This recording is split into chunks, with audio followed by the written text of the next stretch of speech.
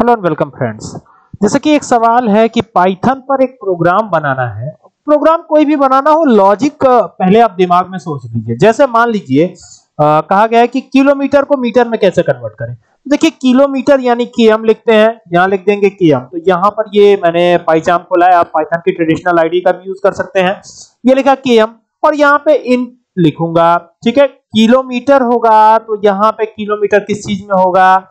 वो आपको देखना होगा। क्योंकि हम यहाँ पे सिर्फ़ मैसेज ही प्रिंट करवाना चाहते हैं। एंटर द डिस्टेंस ये लिख दिया डिस्टेंस ठीक है?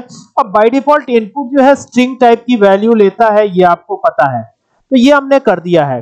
अब एंटर करके नीचे आते हैं, ठीक है? ये डिफाइन कर देता हूँ। यहाँ पे डिफाइन कर देता हूँ, ऊपर ही डिफाइन कर देता हूँ। तो यहाँ पर मैं लिख देता हूँ फ्लोट फ्लोट इनपुट ठीक है?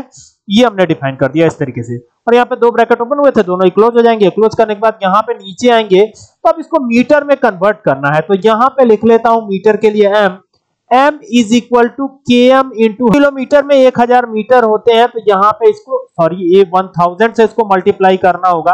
तो ये वन थाउज़ेंड से मल्टीप्लाई किया और प्रिंट करवा देंगे। तो सिंपली लिखेंगे प्रिंट और प्रिंट लिखने के बाद लिखेंगे the conversion is M M यानी मीटर में जब कन्वर्ट होगा तो वही चीज़ यहाँ पे आ जाएगी। ठीक है?